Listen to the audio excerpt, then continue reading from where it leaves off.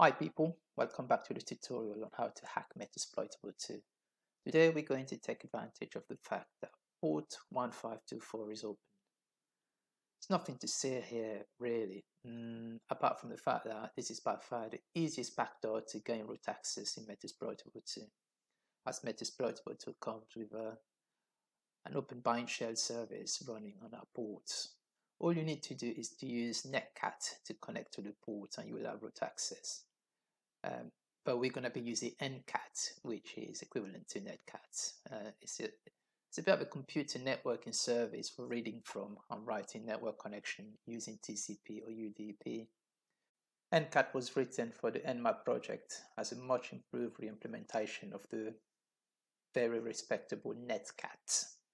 Netcat is often referred to as a Swiss Army knife for TCP IP. So first, let's confirm the service running on our port 1524.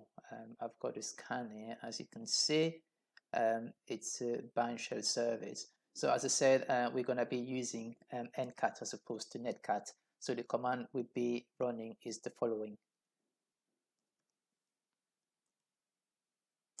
So there you are. Um, it is as straightforward as that. It gives you root access uh, to the remote um, virtual machine. Um, you can find out by using the staple commands such as, um, well, what's the name, isn't it? Tells you that you Metasploit. Uh, you can find out the internet um, interface configuration. So you can actually see a Metasploitable to um, IP address. Find out who you are. As you can see, you've got the highest level of privilege, you are root. Um, I hope you have enjoyed this episode. It's very short and quick and sweet. Any question, then please stick it into the comments.